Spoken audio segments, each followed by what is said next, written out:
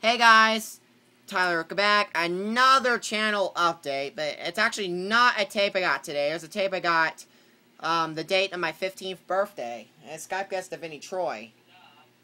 I have news my, about my getaway tape. This one uses the black screen of death at the end.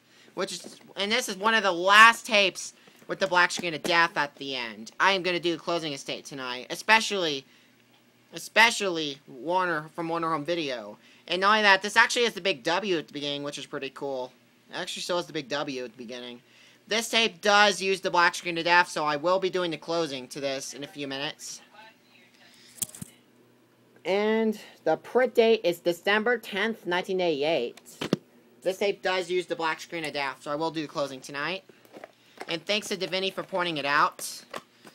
And I will see you guys later.